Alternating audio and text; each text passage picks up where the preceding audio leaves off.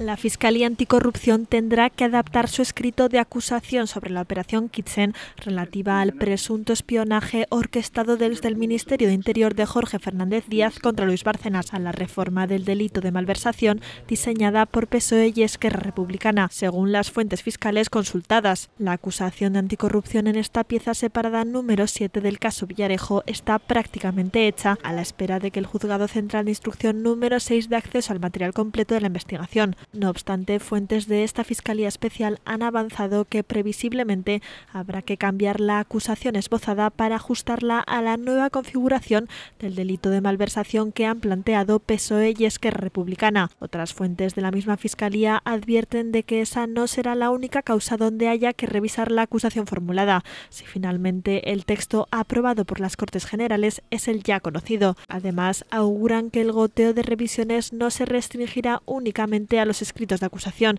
sino que se espera igualmente una sucesión de revisiones de condenas firmes.